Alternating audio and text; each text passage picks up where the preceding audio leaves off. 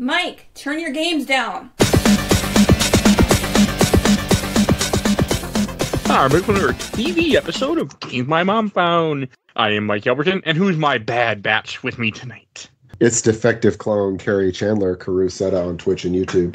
Clone99, Bach Wheel from Twitter. Welcome back. Howdy, Robbie Sherman of Conversations with Robbie Sherman. I didn't think it was funny time, so you guys got me there. hey, but you made it. That's what matters. True. So we are here to wrap up Star Wars: The Bad Batch season three that came out earlier in this year in 2024, started in February and ended in May. And I got to thank Kerry because this wouldn't have happened. This this wasn't going to happen. It wasn't for Kerry. I remember I had no interest in Bad Batch, and you sold me on that first season, and then here we are years later. About that. I'm actually trying to see when we first did the because I did not pull this up beforehand. Like, oh, oh, February, oh, February 7th, 2023. So just last year we did the first season. Oh, cool. Oh, Yeah. not that long. No, so we I think we like- feels waited. longer. Yeah.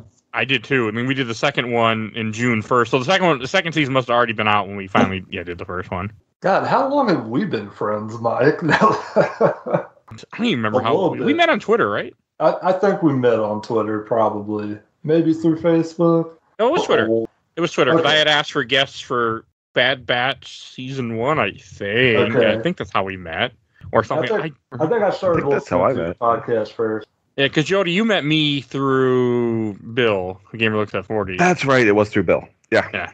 That's right. I forgot. That's how me and him uh, meet a lot of people together. We work together a lot in that sense, in the same circles. But we're here to wrap with the Bad Batch season three. One thing that so this ran 15 episodes. This was the shorter of the three seasons by one episode, and this is the end of anything Clone Wars. Like we're done. Mhm. Yeah. And Perfect. Good. you know, I'm okay with that. I am ending. ready. Much, I am ready for it to because anything animated we get now is, I mean, unless you get like the tails, the tails stuff we'll probably get, but like we're gonna be whatever the next show is gonna be is gonna be during the Emp- early Empire, whenever, whenever, whatever animated show they do next. Nothing's nothing's planned as far as I as I am aware. I'm gonna say they could do it whenever they want to, right? I mean, they don't have to stick to that. No, they can do whatever they want.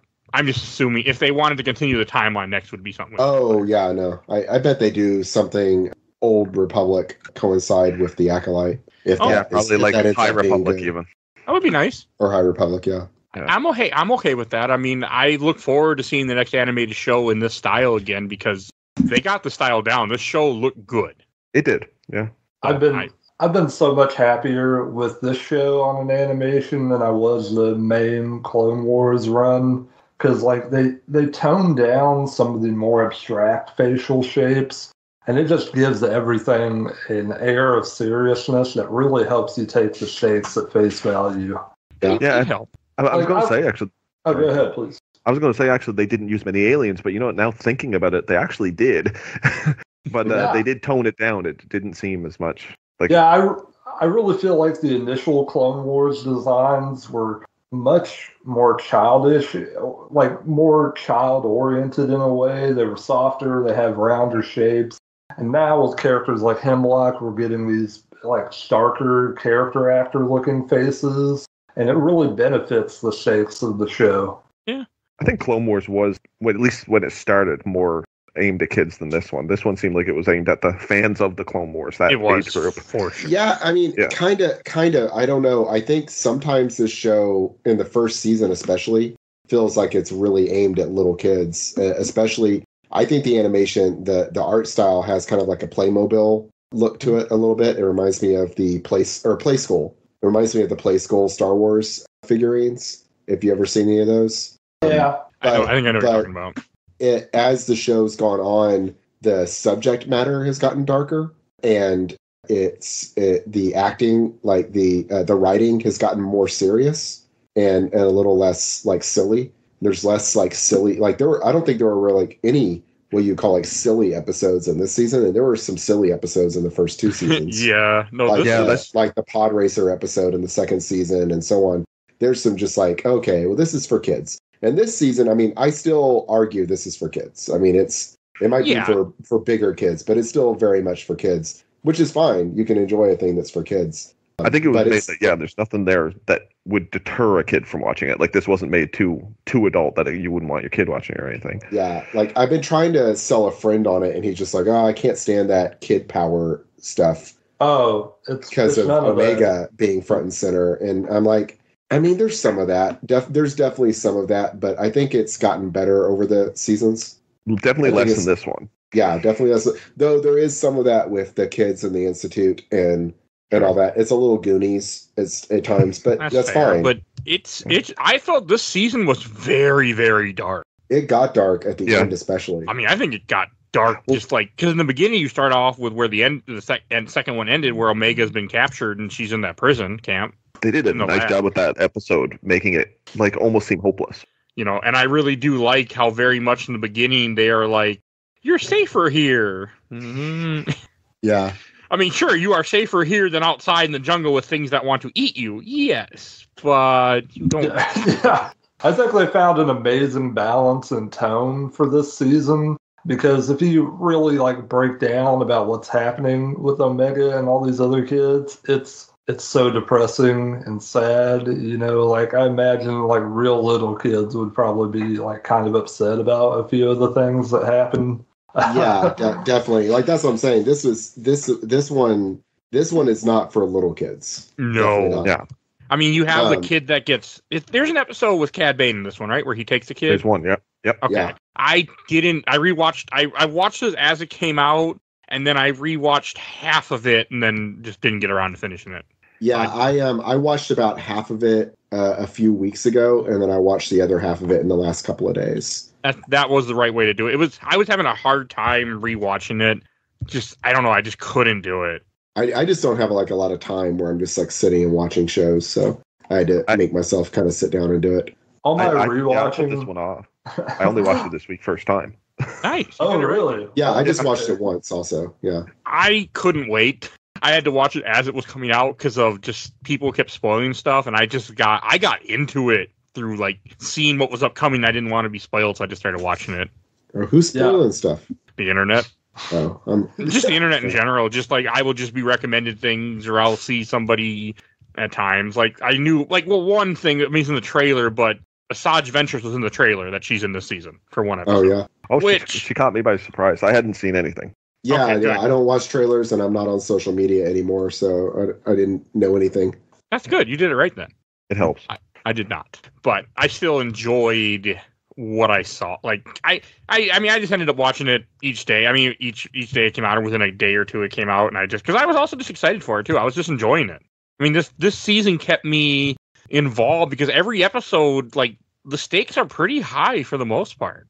There's not a lot of stuff where because you have you have her captured, and then eventually Omega Omega. This this is the very short version. Omega breaks free and then they attack the island, and then Omega gets captured again. Like it doesn't. It has a lot of dark shit in this in this season. In this season, And there was less filler episodes. There was a couple Monster of the Week episodes, but there was less of them than there was in the previous ones. Yeah, I don't really feel like it's that dark. I mean, I think a lot of you know kids cartoons have Oh, you know yeah. these kind of things until really the last episode, and then they actually show people die, which they basically have not done the whole series with, except for Tech, who dies off screen. But we actually see like you know, and not named characters, but we see stormtroopers get like like a sword through the chest, and and or I mean, just yeah, characters get like actually like killed, killed in this, which is not something that normally happens in kids' cartoons or even in this show.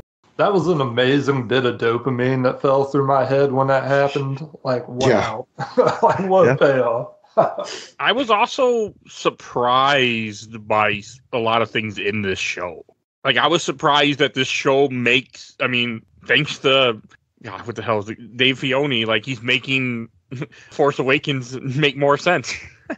Or, or no, not for the Last Jedi. Oh yeah, Last Jedi or not Yeah, Last Jedi? that's- yeah. he's it, he's Rise doing the same thing Clone Wars did for the prequels, right? Clone Yeah. Wars came in and tried to make the prequels not stupid, and It then did. Bad Batch, Bad Batch is doing that for. Well, you can't do that for the Last Jedi. It's not possible, but it, it's trying. You Rise of Skywalker. Yeah, Rise of Skywalker. Is They- that- is it the Last Jedi? I meant the Rise of Skywalker. Yeah.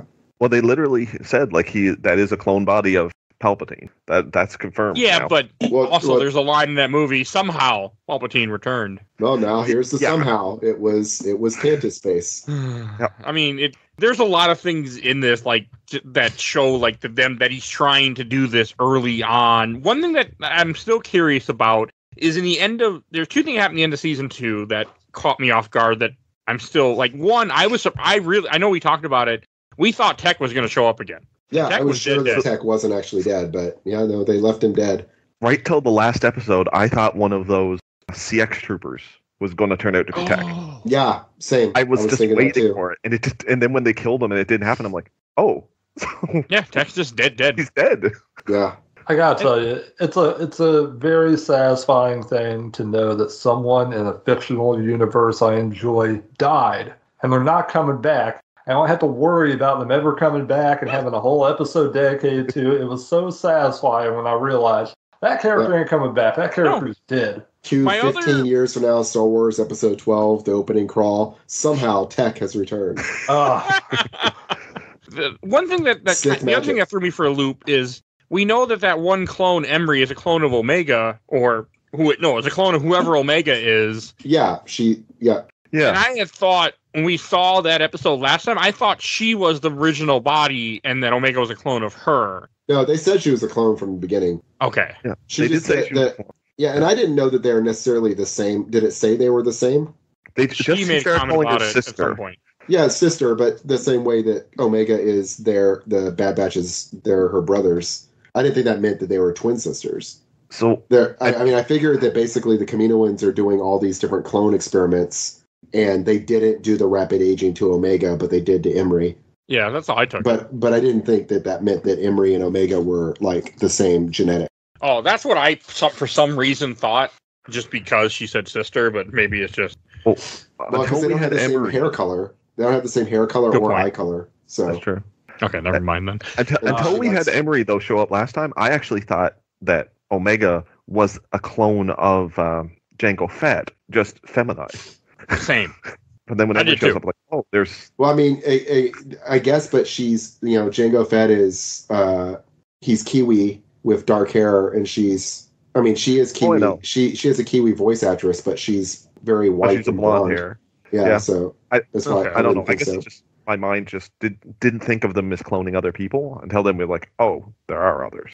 there's just one person over there just like all right bring them back in for another another round It Yeah, actually makes sense. It just never occurred to me. yeah, No, that's fair. I I mean I thought the same thing to be honest with you until this moment. So yeah. The in my mind, the thing was is that they they they have the the clone the clone troopers are cloned from Jango Fett because they're trying to make ultimate soldiers, and Omega and Emery were cloned to be scientists, and so Yeah, they the- would be clones of somebody like sciency. okay, that would make likely sense. would Yeah, be my would thought. sense. I feel so bad for Emery. She just doesn't have a thought in her head, just all day long collecting vials of blood. Like, God, what But kind also, of like, life? What do they think? They're like do they think eventually the blood is just going to work out because all they're they're not. They It just doesn't keep like they're doing not doing any experiments to Omega or anybody. They're just testing your blood every day. I think I, I I yeah I don't know. So so they're they're looking for midichlorians, right? Uh, Yes. That's that's that's what it is. And they they need to find basically can we create a clone that has a high enough M count to be the emperor? Well, oh, Or- maybe what they're doing with the blood is that they're cloning the blood that she puts in there and seeing when they clone it real quick if it keeps. Oh, That's probably what they're doing because you see like Does you see something happen with midichlorians? it. They're trying to see if it keeps. But there's something. I, uh, so I didn't get this from watching the show, but from reading stuff on the show, there's something about they're supposed to be doing some mixes with the blood, and I think that's what we're not seeing. That it's being mixed into the blood to hold the M count, but it only works with Omega's blood as they're going through. Oh, okay, that that makes sense. oh. I don't know what they never exactly they never say what's special about her. I do like that they never actually say the stupid word midi- midichlorians. They just say Ah, M count. yes. Apparently, George Lucas M is pissed off about that. Yeah, Why M count? I mean, it makes sense that they abbreviate it. It also makes sense that they don't share it with people that are are unimportant to them. And I did like, well, the uh, Ventress brought it up that she said it's not medic M count alone that does it. It's also training. Like it just gives you Right. potential, basically. So th- she, I think that was trying to balance out the why is it not important later. Okay. That word, got- M word, so much midichlorians. We gotta talk just a little bit about that Asajj Ventress fight with all the bad. That that ruled, right? yeah, It did, was- yeah. Yeah. Oh yeah. she kicked their ass. yes. And didn't kill them. She Yeah. could Yeah. have. Well, and now for her- the her first lightsaber time, is yellow. I like that. She's Yeah. back in the canon. Yeah. Where she was dead and gone for because uh, in in Clone Wars she doesn't die, but she was supposed to die in an arc of Clone Wars that never got released. Then she died in a book that was canon. So either now the book isn't canon, or, Or she didn't I don't. really die. Yeah, I think some of those books they wrote as canon, they're saying they're redoing that again. Like they're not taking some of them out. poor Oh. authors. Yeah. But yeah, so she's. I mean, and essentially that book was just written based on a on a story arc that they just never got around to. That was supposed to be part So- of the Clone Wars ending one of the last season. They just didn't get around to it. That's why it became a book instead. So is she still gone? Because she's balanced to the light now. Is it still because of getting together with that Jedi? I can't remember his name now. Uh, they don't say Quinlan anything Vos. about him. Quinlan Vos, yeah. I'm assuming that that's was why, books, but right? that's in, that's in the book. Yeah. Yeah. Um, he hasn't. He's he wasn't mentioned in this at all. no. I mean, she's in two episodes, I think, too. I think they see her on the island. I think they see her somewhere else too, because they're trying to figure out about the M count. Yeah, because they see her on the island, and then after Omega gets captured again, then they go to her to help them track down the M count stuff, so they can try. They're trying to figure out. yeah. That to one was a quick, like, sort of a quick flash to a bunch of people in that one. Yeah. Because even Cid showed up at one point, but not for them seeing him. The other before they got it, didn't she? So I'm I'm looking at Wikipedia, um, and it, and it has not been explained how she's alive. Okay. Basically, she died and was buried on Dathomir by Obi Wan Kenobi. Oh. Quinlan Vos and Obi Wan Kenobi took her body to Dathomir several months after she died, and later to rest alongside her sisters. Well, she was just sleeping then. That explains it. And then, and then it yeah. just says after her apparent death and the end of the Clone Wars, Ventress continued her travels covertly on a personal starship with a new yellow lightsaber. In other words, we Oh, don't know yet because they haven't written. So somehow they haven't read it yet. Ventress has returned. Eh, I mean, I'm sure it will be elaborated magic. on eventually. Maybe So- maybe there will be a it, it, it'll- they'll reveal it in a fortnight. Hmm, I hate that you you could be right. You know, I'm, I'm usually never lucky enough to wake up with a yellow lightsaber. It's always a blue lightsaber or a green lightsaber or even a black lightsaber sometimes. I don't know how those get in there. I I like that hers is yellow because she's not a Jedi. She's not a Sith anymore, so she has a yellow lightsaber. That's fine. Yeah, or is the is the canon now that your light and dark sidedness affects the the color of your lightsaber, or, or is that not canon? I think there's. I think they're back and forth on it because Yeah. um, I think they go back and forth get on it. the I yellow lightsaber too. right? Yeah. And then and then uh Ahsoka has the white ones in the TV series. She has the white ones because she's purifying red. The red ones that she stole. Yeah. Oh, okay. Oh, is that what it is? Yeah, Yeah, she took them from, from them because they go Inquisitors. She, she murdered one of the Inquisitors that she murdered, or the one that she did mur- kill, is in Tales of the Jedi season one. Oh, okay. Think I haven't Hey, watched Cool. Tales. You Same. can later if you want to for a podcast.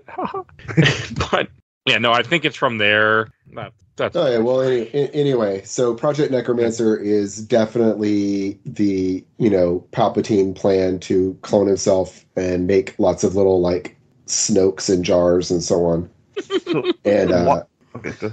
Go, go yeah, ahead. no, that's it. That's it. I, I, I just want gonna- ask, why does Zillo Beasts have to do with Project Ne- Necromancer? because Oh, Zillo think- Beast he wanted to clone them for the armor. That's the whole idea is that the the shells could block lightsabers, so he wanted Oh. to make more of that armor. why. So he But- must be going Oh. to try and amalgamate that into the clones. It just never worked. Yeah, I Yeah. figured that science facility had multiple projects and that the Zillo Beast was for something else, but no, I wondered if it was a weapon of mass destruction that he was developing, like clone Zillo Beasts and just throw them on a planet and there. I mean, Yeah. yes, Possibly. I mean they, they would it would work. you just drop in one spot and go, bye guys, have fun. well, it, it almost destroyed a Coruscant. Yeah. Hey, you know, maybe we should just consider that everybody needs a pet. You know, they can like cuddle up with, have a What you if- know, like get close to. Yeah. What if Palpatine was hoping that instead of being like uh, his clone body being a decrepit old man attached to a chair, that instead he could be like a Zillo Beast with the Force? Uh, Rise of Skywalker would have won a lot different thing.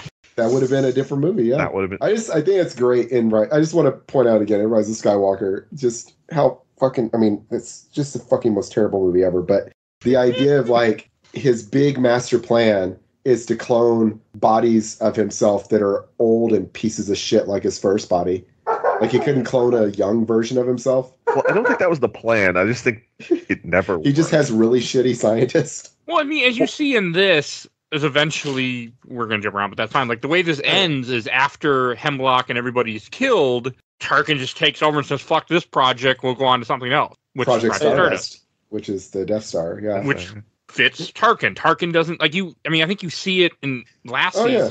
Season where he's like, "Fuck you, Hemlock. I don't agree with what." Because he also doesn't know what he's doing because Palpatine is keeping it very Keeping close from to him, the yeah. chest. Uh, that, and and- Tarkin always has been focused more on less on the force of it. He didn't trust the force because he Yeah. didn't think it was good enough to keep power over the whole galaxy. Yeah, Tarkin's old school. Yeah.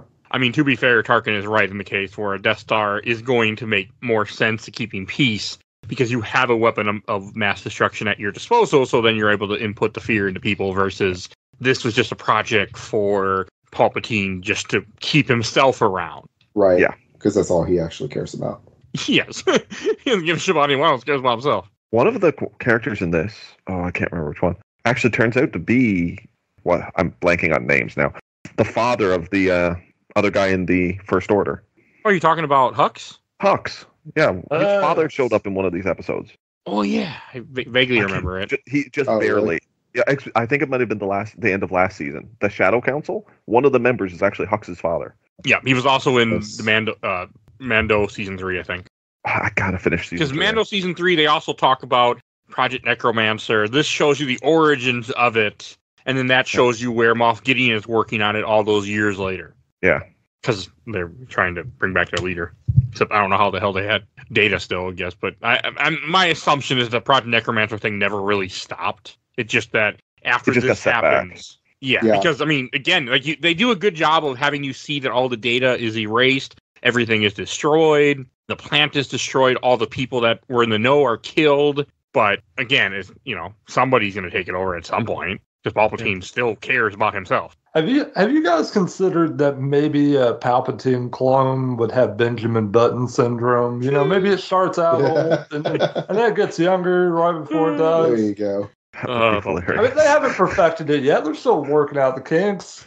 But I mean, at least they're at least the canon is trying to make it make more sense. Yeah. It's trying. I mean, one thing this this season did too that I don't know how I feel about is Crosshair rejoins the team. And one part Oh, it was love that. nice having him back because we haven't had him part of the team since like first episode of the first season. Like he he leaves pretty quickly. Yeah, Yeah. No, I loved having him back and his like his whole arc and of him like not trusting himself anymore, like feeling like he can't shoot anymore, and then it depends at the at the very end. It everything depends on him being very accurate, and he does it. And I like I thought it was fairly accurate. Like it took a full episode for Hunter to get back to trusting him, Yeah. but then it took another episode for Echo to get back to trusting him. Mhm. So like they didn't just automatically, oh he's back now, it's good. Oh, and Yeah, did that I was miss nice too. did I miss Crosshair losing his hand? It's in the last episode. It's in the last I missed episode. Okay, because I It saw at the be very end they showed him whenever they get together and take like a, a group picture at the end. Basically, he has he's missing his hand. I was like, wait, when did he lose his hand? Yeah, it's in the very last episode when they're fighting the the new clones that Hemlock was working Oh, on. the, yeah, the the operators or whatever. They cut off his hand. the one with the. I thought that they just okay. I think I can picture that scene now. No, they just pin him thought on the ground, hold down, step on his arm, and then cut off his hand. Yeah. like it's it's a little brutal. Hey, uh, you know, cup half full. Oh yeah, he gets a new CX2. robot hand.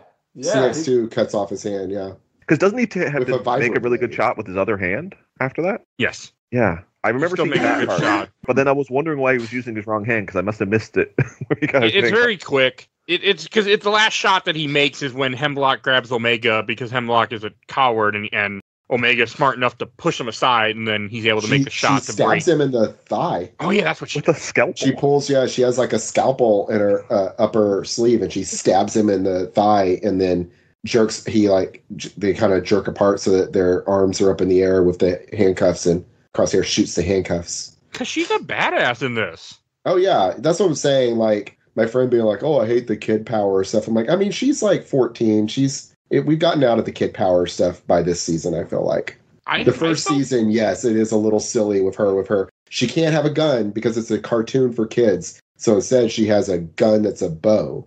It's like a gun, but Well, worse. At least it's a crossbow this time. yes, I, but I like she's not even using better. that by the the the She last gets it given to her, episode. but I never see her use it. No, exactly. She's not using it at all. And so and she needed to not because it's dumb. It's just dumb. It's I'm sorry. It's it's about it- as dumb as that. Oh god, and is it um Rebels where the kid has a fucking slingshot? In the first season, yes. Oh, so stupid. It goes And- away. But, it's because it's for little little kids. It's like Rebels and this were both at first clearly aimed at babies, and then right away both of those shows got way more mature and better. and I think the first two. season of this is good. It's just like the first it, it first the first season it felt like they didn't know what they were gonna do what they wanted to be with it. But this I- season is very clearly aimed at an older audience. I was sort of hoping that she would end up using the crossbow, though, that it would turn out to be like a bowcaster. yeah, that, The, like mean, that's explosive. The, that, I that that wouldn't have. It would have justified it then to me. We've, we've seen how powerful they are, those are. Well, Yeah. bowcasters are. That's the thing. That's why it would. That would justify it to me. But I, did she use it at all in that episode? I know it was given to her. I I, I don't don't, think so. remember. I off don't the top of remember ever head getting if used. it. I mean, at one point she's carrying just a, a standard uh, stormtrooper blaster rifle in this episode. She doesn't shoot it, but she's carrying it. but she carries it for a while. But she stabs a guy, so that's that's that's pretty adult. Yeah. They they did a good job with her. Like I remember, I went from season one where I could give a shit about her to where I really appreciate her as a character Oh, yeah. at the No, end I of mean this she's series. she's my favorite character in the show. Honestly, Same. she's I feel like she's kind of the heart of the show because she Yeah. she's like very like idealistic and loyal. Yeah. And she makes a good point in the second season that she's the same age as them. That is true. Like they treat her like a little kid, but they're they're children. they just were grown faster. Yeah, but they're that doesn't make them like mentally more mature than her or something. No, they were just trained on the battlefield. So sure with combat, but that's it. but they make immature decisions, like Yeah. as you would as a like four year old. Well, how long has it been since the Clone Wars? I mean, everything- at this point, it's been a it's it, this is uh like 18 ABY, I think, is this season. So that's uh Because the Wait, Clone Wars had started before the Clone Wars start. Because yeah. Count Dooku had already put it in motion. But yeah, we don't. But they weren't the, the first batch of clones. They were like the, the clone batch ninety nine. They were like the second. Oh yeah, they weren't were later. They made a fuck ton of clones though. Uh, so according to Wikipedia, this entire series takes place over one year, which uh, it doesn't seem Oh. pro- doesn't seem possible. I mean, But it's, it's- Wikipedia Wars is says season one is with, 19. though, uh, Movement through space, like it happens super fast. yeah. I mean, I can see it. I mean, it, I thought it was longer for sure, 'cause- especially because Omega grows up a lot. He looks a, much more adult, even as he. Yeah. I thought it was a couple of years, but I guess they wanted to be where the Empire is getting his shit together that quickly. out. Mhm. Yeah, You know, because I mean, this is like this in this season at this point, you don't really run into clone troopers for the most part, other than Hemlock has clone troopers. right. The rest of the Yeah, world does not. Because Hemlock still believes in cloning, and the rest of the the Empire doesn't believe in that anymore. But Yeah. I don't get why so many. Are, the one thing bothers me. All the clone commandos we see all seem to support him. I'm like, why are all of them? because Does they that- aren't defective. Like the reason the Bad Batch are not loyal to the Empire is because they're defective and they don't. Their microchips don't work. Their Yeah, but like even some work. of the other troopers that aren't defective eventually get over their chips, or like enough that they start questioning because they meet that one, the one trooper in this one that fights them, General Wolffe. He later has his chip. removed. Yeah, yeah, that's true. I mean, I think that maybe eventually, you know, they can overcome it. Like, Just uh, because they're really good clones, it takes longer. Like really well made clones. right? Yeah, I could see that. Yeah, I think that's a big part. I mean, to be fair, Wolffe is also the one that screws them over, screws them over in Rebels when he calls the Empire and says, "Hey, we got the guys you're looking for right here." Oh, Oh, really? didn't know that. Yeah, he's it's I, that, I got to finish Rebels. it's in an early episode, but yeah, you, you should. I, I've only watched like the first couple episodes. I gotta watch more. of it. Wait, so Wolffe betrays them? yes, he calls the Empire and says that they're there, and then they fight the Empire together, and then Wolffe's like, "I'm sorry, I shouldn't have done that. I thought they'd Oh, let us go back." Something dumb like that. but oh, that's Oh, okay, I see. it's and then I think he shows up again in Rebels later on, but yeah, he betrays them at one point. I see. That was nice of him. Yeah, So I mean, it kind of fits that he was also still involved with the Empire at the at, in this. Yeah. So and I get it. Like I mean, they don't really want to leave, but they're also they get betrayed by the Empire too. So I think that that plays a big part in why they all leave eventually because the Empire don't give a shit about them, even though the Empire is stupid and should just use the clones that you already have because you have a soldier force already designed, trained, and I- paid for. Like I went through season two, like I got through almost all that. I had to cut my season three watch, rewatch short by a couple episodes. But the episode where Crosshair ends up going to a outpost that's nothing but new trooper outfits for the replacements that will be taking over for the clones is so Yes. effective and sad and like Yeah. a brilliant a brilliant piece of just military like work.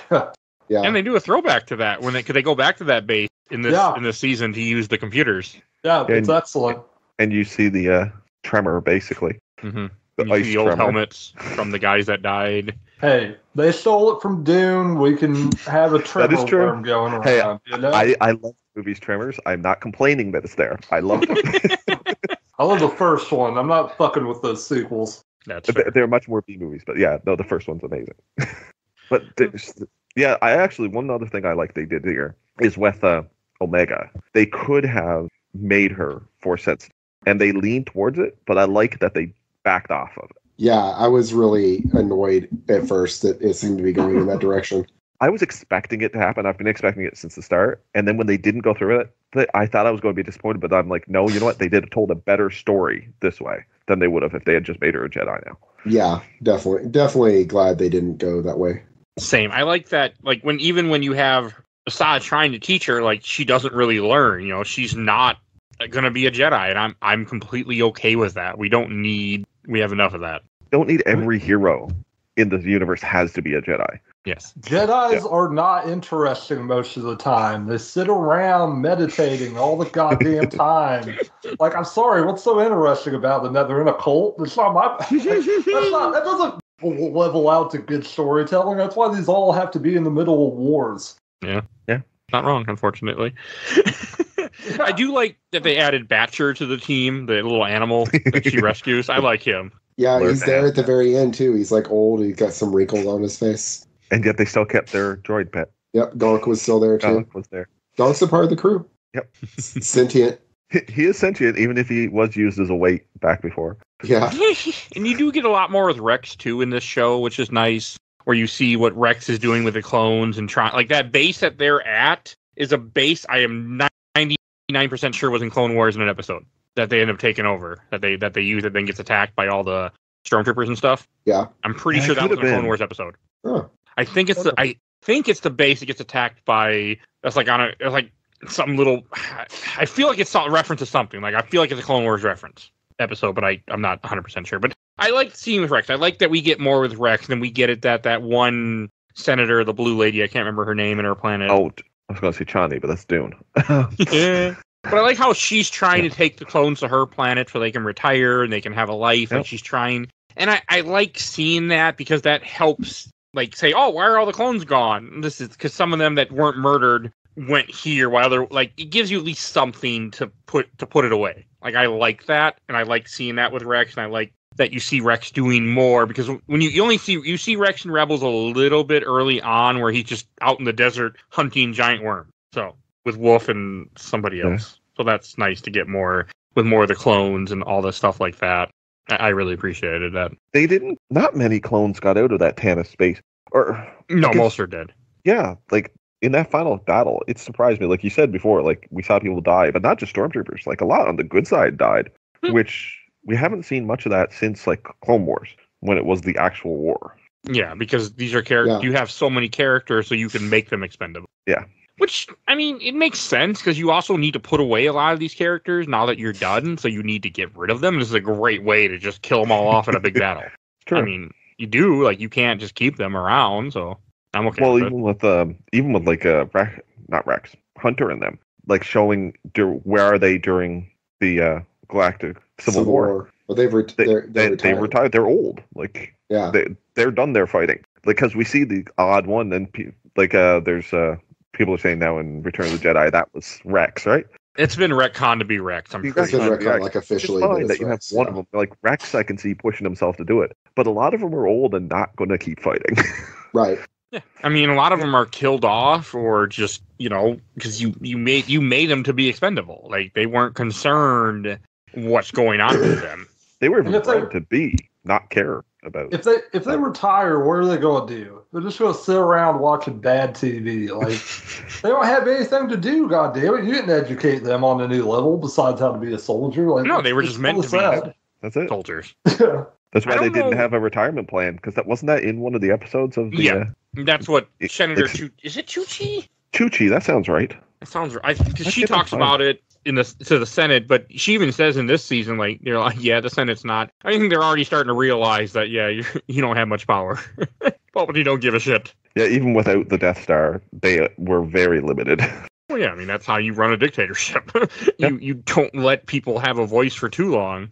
Riyo Chuchi, I found it. Okay, I mean, and Palpatine is a smart dictator. Okay, like he's Oh, not yeah. good, but he's smart for the most part. It was nice having Echo back on the team too, because Echo comes back pretty pretty quickly. So I like seeing everybody together, other than Tech, which I'm still I'm I I was expecting Tech to show up too, like we talked about before, but I'm I'm glad that he stayed dead too. Actually, I liked Echo. Like he really showed himself, like his whole infiltration, Yeah. dressed up as this, like that was really good. Yeah, and if you notice in the epilogue, so we know Echo lives to the end, but in the epilogue, uh, he's apparently not with them anymore.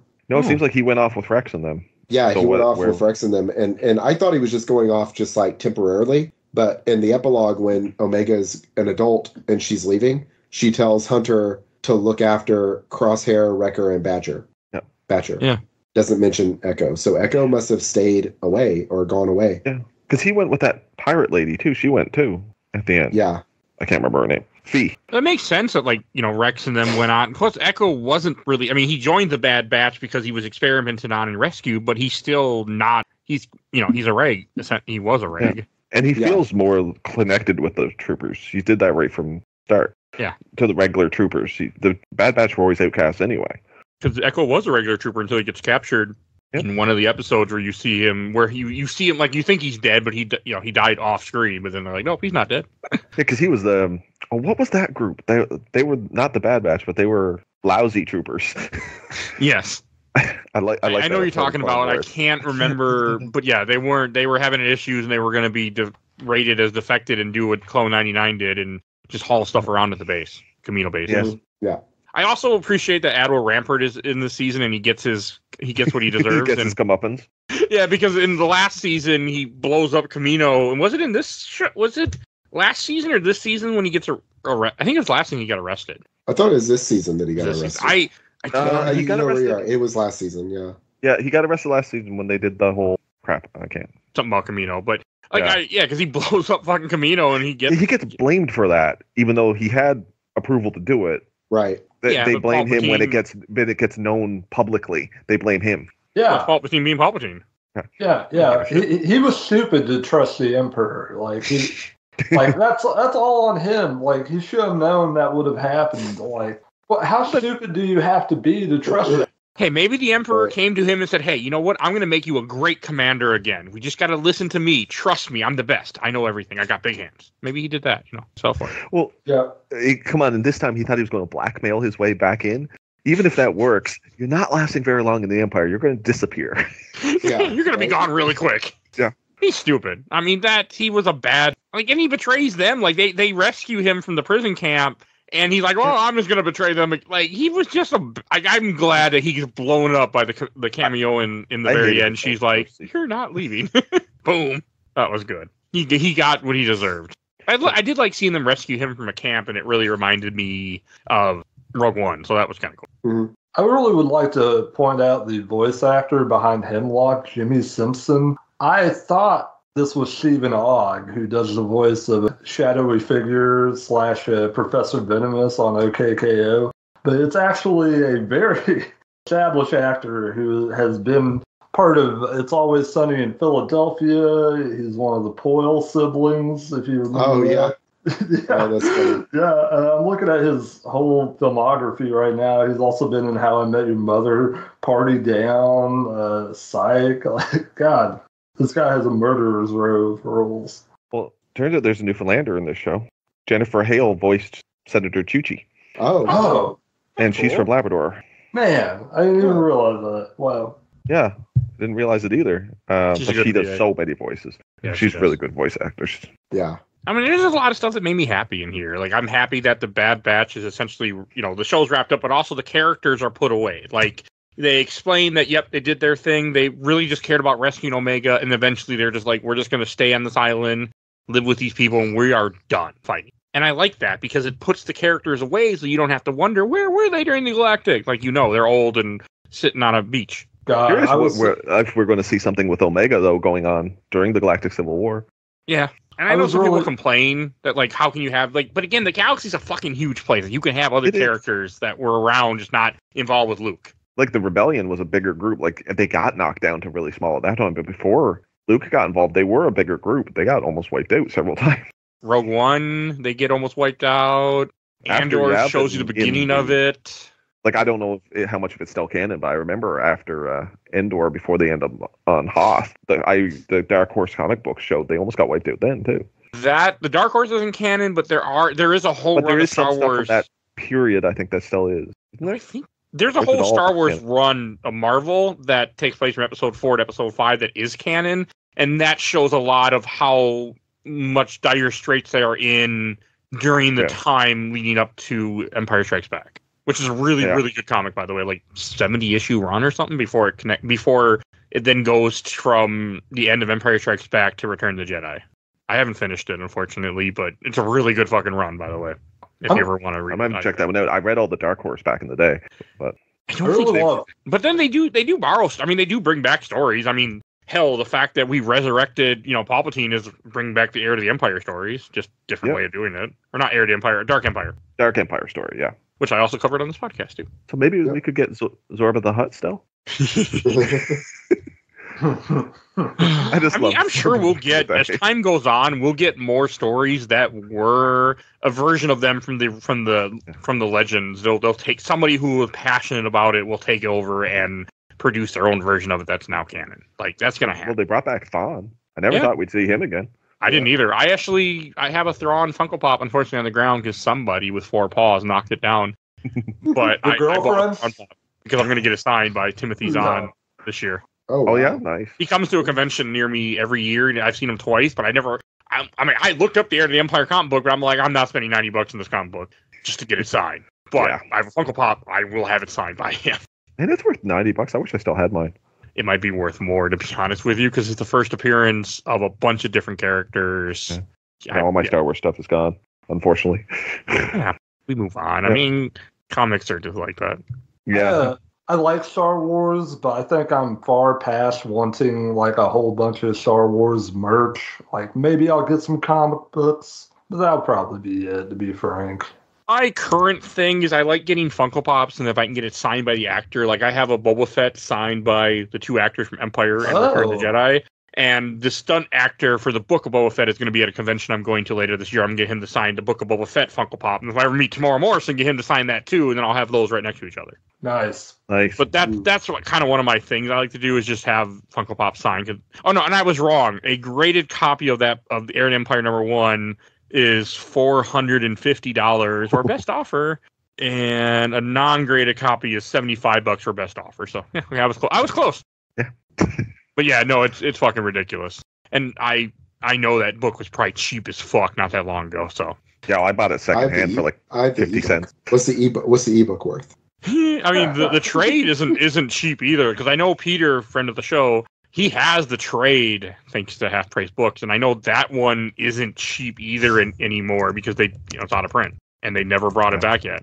I don't think so. I remember looking them up. I read them online, but yeah, they are not they are not cheap. Back to Bad Batch. Bad batch, yeah. That's what we got. you did. Sorry, diverted there. Uh, but I'm, I'm happy Asajj is back. I'm happy. Oh, and Fennec Shand is in one episode of this when they go to her Yeah. trying to find out more about Yep. the M count stuff. She was in two because she was they. She was another one that they called, Oh, wasn't she? But I think it was just her voice the second time. I don't think we Yeah. saw her. Yeah, I'm glad she's getting more more paid, more more paid. Yeah. Oh, I any, like- anything for Ming-Na Wen. I'm happy to see her work. yeah, I know you are, and she's fucking awesome. Ever since it I saw her on the uh, Marvel show, I can't remember the name of that show. Agent of Uh, Shield. Agents of Agents Shield. of Shield. Ever since I saw her on that, she was like the best part came out of that. And I like that show. Oh yeah, she's definitely one of the best things on that. I mean, I I've, I've been in love with her since she was on ER. So, My Uh, wife would probably know. Oh, she was in ER. yeah, she's she's a very minor role in the first season, and then she comes back in like the fifth season and becomes one of the main characters on the show. Cool. And she's one of the main characters for most of the rest of the series. But she's in the first season. She's in like five episodes. She's Carter's rival uh, intern, and then she, she disappears. I have a I was- friend who went. Oh, never mind. Don't worry about it. I was just happy to see more stuff with Fennec Shand because we're never gonna get a Book of Boba Fett season two. Yeah, So- which probably for I the best. No, it is for the best. We're never going to find That out what happened to the Power Rangers, the the moped Power Rangers. I'm, I'm not worried about that. No, no, we're not going to get a spin-off series of the moped Power think so. Rangers. Hey, Yeah. they wanted to. Had it not been critically panned, they would have done it. I bet. Critically and popularly pla- panned because it was fucking terrible.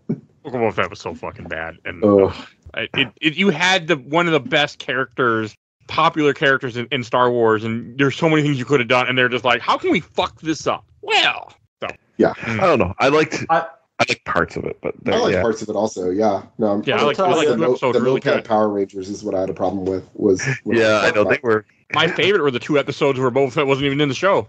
That's my the favorite. Mandalorian episodes. I Yeah, liked mean, that, I liked that was also the stupid. I liked the like dances with wolves, but with Tusken Raiders. Yeah, I like was that.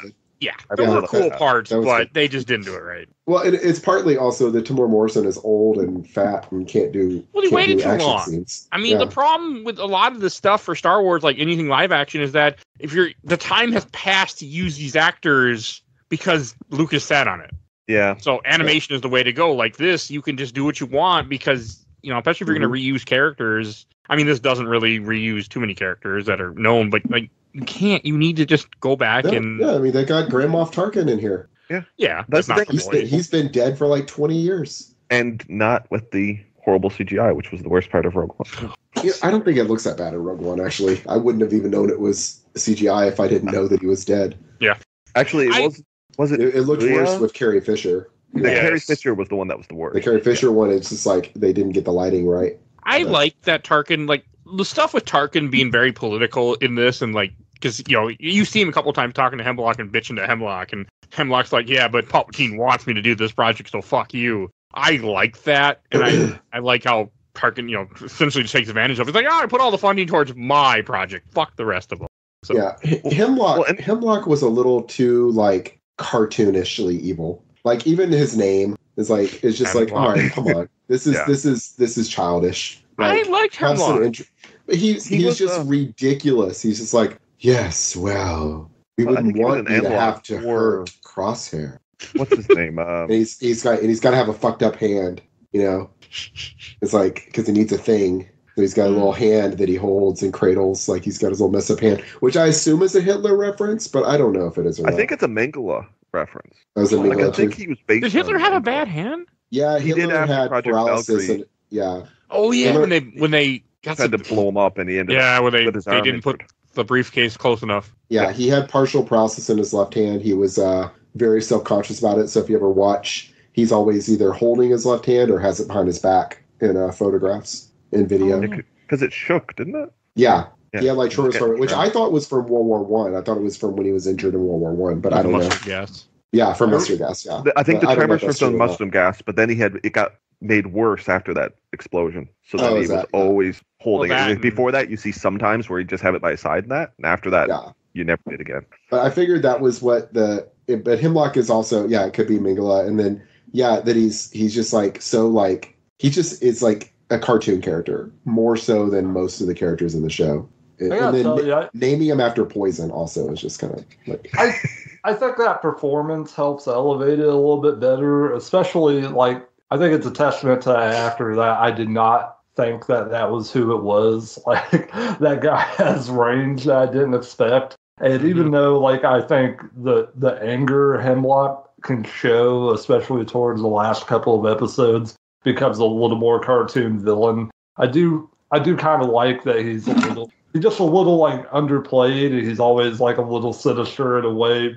I don't know. I thought he worked well for the show. Maybe if he was in a different show, it would, it would be different for me. But I, I thought he was fine. Well, I, I didn't think it was underplayed. Is the only thing. I thought it was over the top. Like he was Yeah. always he was making he was doing like a like when he was angry. That actually seemed more human. It was when he was just doing his like his like I'm a cool scary guy. I talk like this. Everything I I'm evil. say, I whisper so you have to lean in because I'm evil.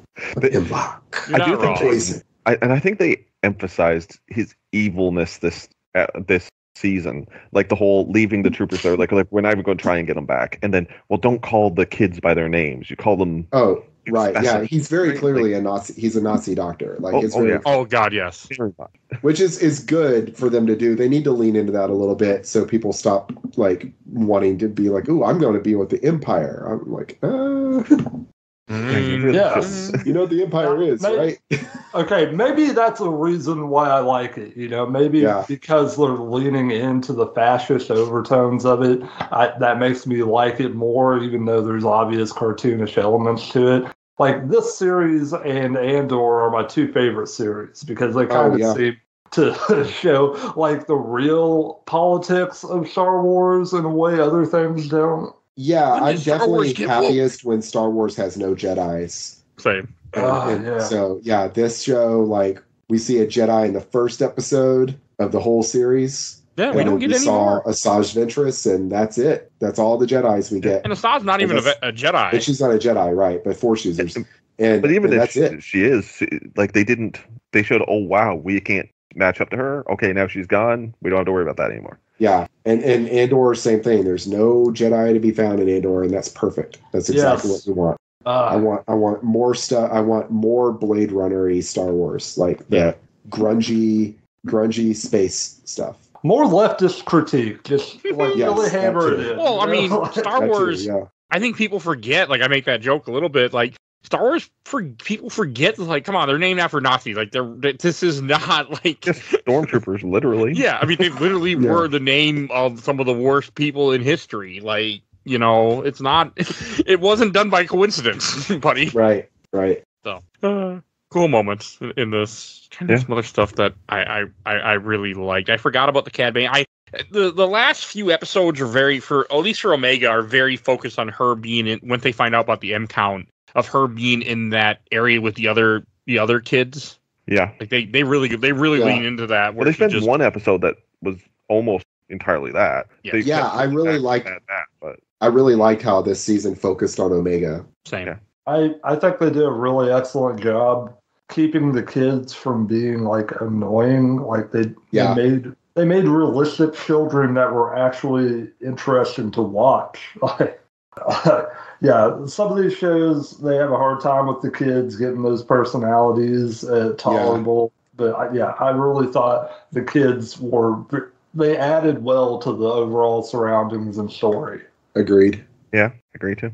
I felt all of it was was a good at giving it more background to the world that we're in. And I think we really need that for Star Wars. Like but you guys said, we need more stuff without the freaking Jedi. So because we Yeah. get plenty of Jedi. even give us like Sith shit, you know, like just Yeah. two. We've had so much Jedi stuff. Like this is a big world. The the Inquisitors weren't in the show at all, right? Not in Nope. this season. We Not we saw all, one no. of their lightsabers, didn't we? Somebody had one, or am I? See, I unfortunately something watch other Star Wars stuff too, so I'm like, what is what? I don't I remember remember any Inquisitor. Okay, stuff probably in. Tales Okay, of the Empire I that I'm mixing that up with something else. Yeah, Tales of the Empire, which I just got done watching too, by the way, not too long ago. So that's probably it because I was in a Star Wars mood and had to watch more Star Wars. I also want to talk about the Clone Commanders. I or the Clone Commandos. I like it that they're here. I really appreciate them. Mhm. I also I, I think they all pretty much get killed when the base goes down, which again makes Yeah. sense that they're all put Yeah. away and they're gone. And I really appreciate that Scorch because I, I forgot this, but Scorch is in the is in all the Bad Batch seasons, and he finally Mhm. gets killed in the very end episode. They shoot him up. Which we were talking about this before we recorded, but as a big fan of the Republic Commando novels, I, I hated that they just like ki- turned Scorch into a bad guy and killed him. Yeah, but I, it, I hate that he. They, I would have liked to have seen. Like, I get what you said before about like, well, they're a better clone, so maybe they they the chips would work better in them. But I would have liked to have seen him change. I like yeah, join the good guys. like so at some point at least realize what they're doing is wrong. But nope, just following orders. I'm doing it. good soldiers follow orders. Which in the novels, uh, if I recall correctly, he's the only one of of the commandos that ended up staying with the Empire when it became the Empire Oh, in the novels. he's the only yeah. one that we see. We don't get any other name drops of Fixer, or I don't remember the, the rest right. of them. Fixer, Niner, Del- or Delta was just Del- the game. Delta's the squad. I can't remember the fourth one's name, but it's Fixer, There Niner, was Sev in the game, Sev, Sev, but, but, Sev, Sev, died. died. the game, but Sev yeah, dies in the game. He's not in the novels, yeah. and then someone replaces Sev in the novels. They get the first novel starts off with them with Sev. Well, the first novel starts off with Sev dying, but um, Yeah, in the game, it was left ambiguous as to whether because they were thinking of making a second game where you'd have to rescue him. And then They were going to make a, a game where you play as the Imperial Commandos. yeah. So Yeah, that's books, right. That got scrapped. The books, they had four of the books that were the Republic Commando books, and then the fourth one is called Order sixty six, and then they had the fifth book was called Imperial Commando, and in that Oh. one, Scorch is the only one that is still in the Empire because the others, one of them dies, and then two of them leave. Because I can't remember which one. I think it's I think it's either I think it's Niner maybe that ends up like um, falling in love with a Jedi, Oh, okay. and they have like a child together, and then the, Jedi, the Jedi gets killed in Order sixty six, and he goes to like raise the child by himself, like with some old like retired Mandalorians, these like two gay Mandalorian farmers that they live with. The books are really good. Highly recommend.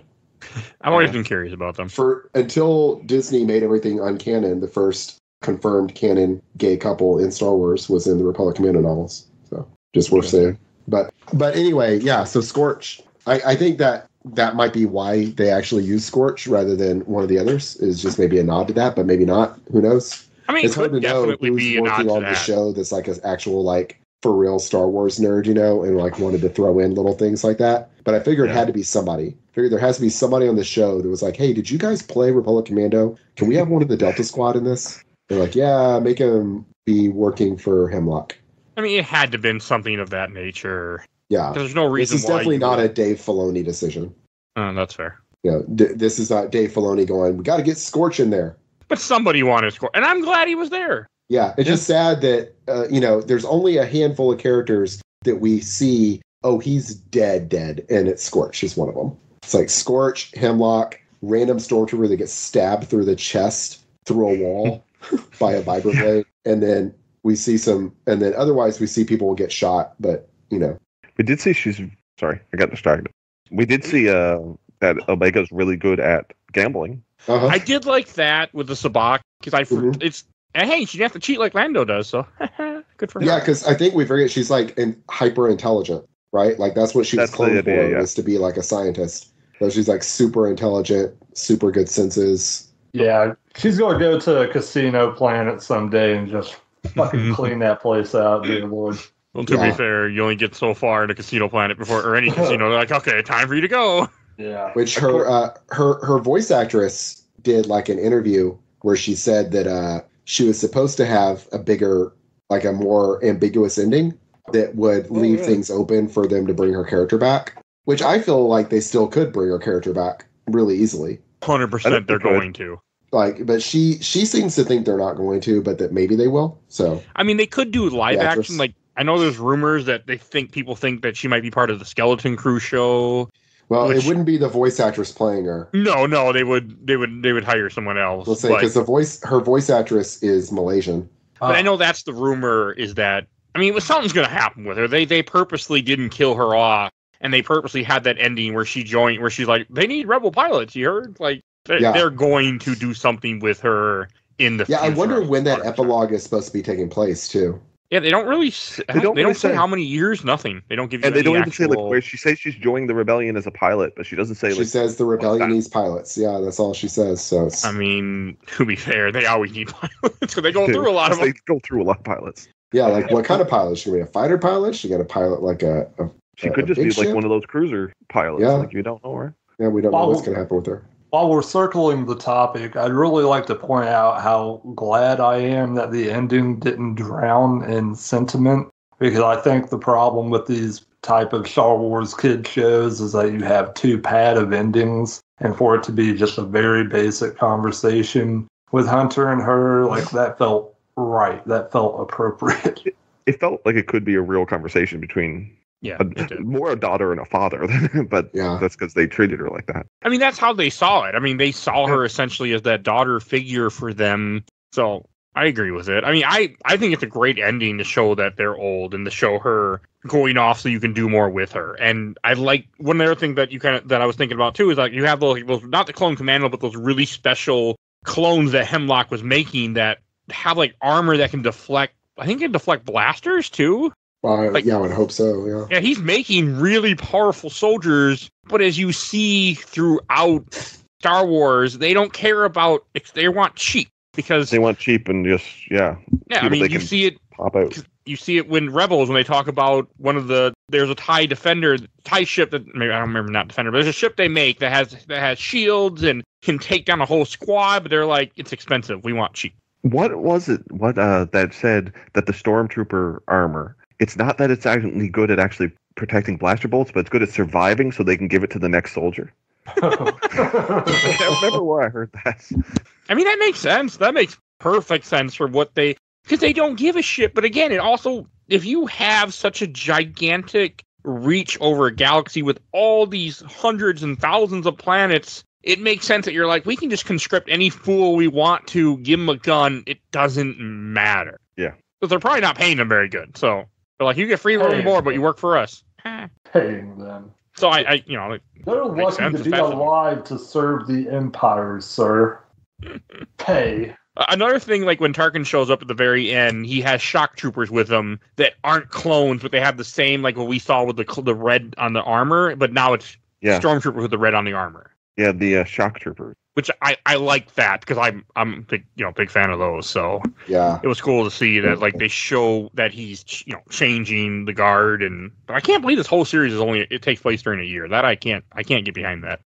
Yeah, it, it feels like longer for sure. It feels like a couple. It felt like three years or two years Well- at least. A lot of that is because we have so many different characters, I think, and when you're splitting your attention over across so many characters of the events, it feels bigger. That's fair. Well, and just the fact of how much Omega changes from season one to season three. Yeah. It seemed like there was actually. I thought between seasons one and two there was like a six month or a year gap there. It felt Because it that seemed to be the felt that way. biggest. Well, and I think there is. I don't know if you look at the uh, the dates. It's like the first season is eighteen is nineteen ABY. The second season's nineteen to eighteen, and then the third season's eighteen. So Oh, so it takes place over like place- two years. yeah, over yeah maybe over two years. Yeah, I think like it's just that that the show matured a lot from the first season to the third season. Also, yes, It did. hundred percent. not just the characters but the show itself. I'd like to apologize. It has started raining here, so forgive me for any noise on my oh, you're microphone. I don't. Yeah, hear we're not. I don't think we're hearing it at all. No, we're not. It's not coming through. Good. So I, I've been reading Wikipedia. so you're on looking Kamino where it rains all the time? No, thank God. I wouldn't survive. I would have jumped into the ocean and drowned by now if I lived on Kamino. I'm I'd like sorry, to everybody. I'd like to stay on Kamino for a few weeks.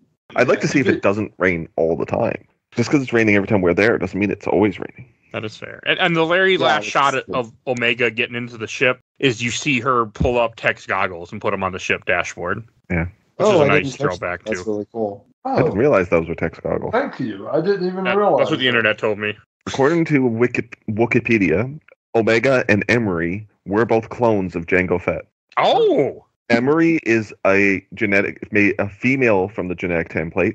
Omega is an unaltered clone. So if she's an unaltered, supposed to be just like Boba Fett, how come she doesn't look like Boba Fett? And how come is she female? Where are they getting, Yeah, where are they getting this information? Apparently from episode seven of the Bad Batch. I'd have to rewatch the episode.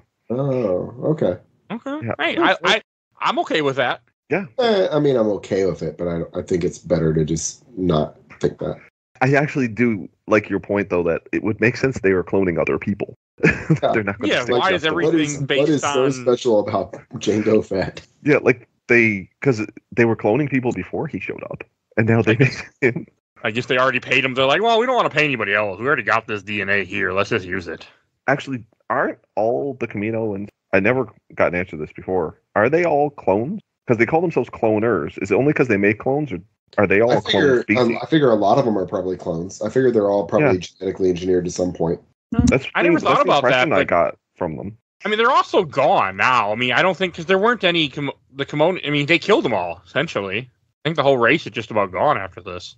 Was there something about there possibly other cities on Kamino, but just be underwater? I think there's a mention to it, but I feel like they might have. Dist- I mean, star destroyers are very, very powerful. They are. They basically can glass a planet. Halo reference. But why would they? Oh, is that where I got that from? I mean, that's what if you read Yeah, the that's Halo what- you're right. I forgot. that's that. what they do to planets in the books. They- Also, what they do in Halo Reach, they they what they they glass the planet. I used to read a lot of those novels. Same. Halo novels. God, I don't think There's a bunch. much in them. yeah, I- the early I ones are read- good. I didn't watch read the later ones, but the early ones were pretty good. yeah, they they really were. I read a bunch of the early ones too. The first three that were out all at Yeah. the same time: Flood, Reach, and First Strike. Yep, that's the same three I read. And then there were more Onyx, Ghost of Onyx, and I was like, I'm done. It was just like one little year in time where I cared about Halo a lot. That year is gone and never I think comes that's the year Halo Two came out. I read It them.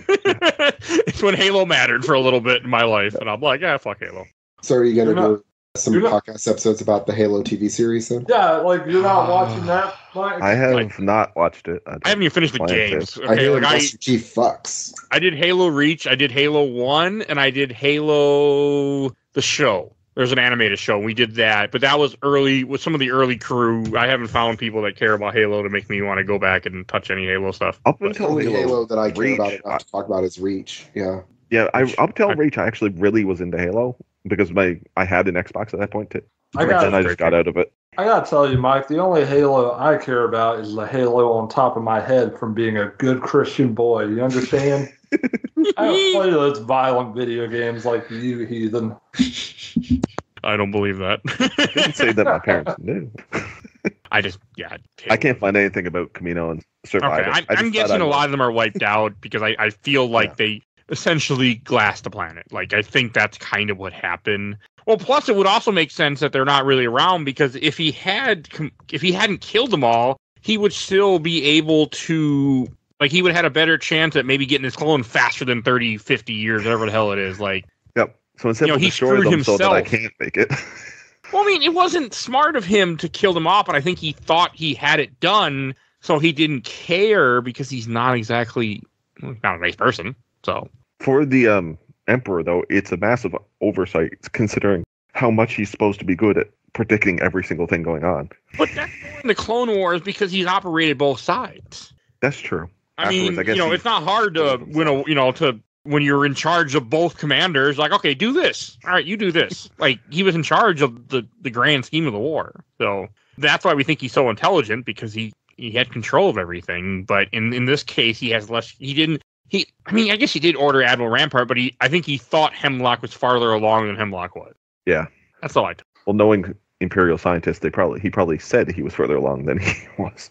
yes. I mean, I'm sure it's not a, a job that if you if you're not making results, you're you're out the door and you're not just fired, you're murdered. So Yeah.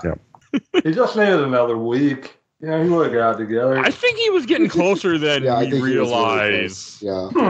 I think he was not pretty close blown to up the that. plant. Like, Yeah. I mean, it feels like with Omega, they had they had the template, and Nala Se knew it because you you know in the first part of the series, she keeps break, she keeps burning the blood. She knew exactly that for some reason, you know that. So they had the technology. They just weren't going to help the Emperor out because they didn't like him because he killed their people. I think that Anamase knew because I think she was actually trying to create a Jedi herself. Oh, I think oh. that I think that was her pro- her secret project. I don't think she was doing it for the Emperor. I think when they were back on Kamino, they were already looking into cloning the Jedi if they needed to. That makes sense. I mean, she's up to stuff because she's well aware of what Omega is, She seemed to and the fact that her name yeah. is Omega, Alpha and Omega. I'm the beginning and I am the end. Like, you know, Yep. Oh yeah. so that makes that all she was the end result of whatever she was planning. yeah. And you know, like this is the only clone that can keep the M count. And I mean, as we saw in Heir to the Empire, which when you when you clone yourself and have the M count, you go crazy. but that's not canon anymore. That's right. I forgot about that. Mhm. You you go a little nuts. He he did go on. I mean, Emperor's already nuts, so you might not notice it. But yes, that's what. Yeah. Well, he also became a force vampire, basically, eating through bodies. Uh, but no, I, I I really appreciate you know what they were going for, and that they they really tried to make the fucking for the Rise of Skywalker make more sense. Well, you know what I, I I did I'm reading about it some more. I didn't realize Project Necromancer was first referenced in um Mandalorian season 3. Oh, oh, really, that was Yeah. the first mention. So you know when they have that like holographic shadow council Moff Gideon's in? He's like Yep. the it's like him and a bunch of holograms and one of them is Hux's dad. And Hux's That's what dad Hux's dad in- was. Yeah. Right. and and and Pellaeon Admiral Pellaeon is over here talking about you know we need to work on Admiral Great Admiral Thrawn's you know thing, and then Hux is like, no, we need to work on Project Necromancer. Yeah. Boy, yeah, what a great name. Project Necromancer. Just that just rolls off the tongue perfectly. Yeah, I love Uh, that. actually, I'm looking at the quote. Pellaeon says, Grand Admiral Thrawn's return will herald in the reemergence of our military and provide Commandant Hux enough time to deliver on Project Necromancer.